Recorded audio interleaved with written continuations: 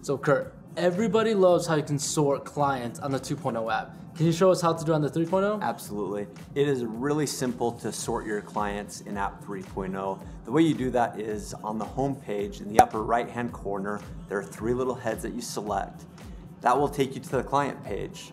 On the client page, it gives you a list of all the clients you've ever scanned. In the upper right hand corner, there are three lines that you can select and you can sort your clients by first name, last name, and scan date. And that's how you that's how you're able to sort the clients. That's awesome. And you said there's like ascending and descending options, right? So Ascending and descending. That's awesome. And when would you utilize this tool? Yeah, so a lot of uh, the business builders will use this tool anytime they scan at parties and you, you need to go back and follow up with your clients. You can actually find the clients through the date pull the client list, send out an email or send out communication to those clients. That's awesome. So I hope you guys use those tools because they are absolutely amazing.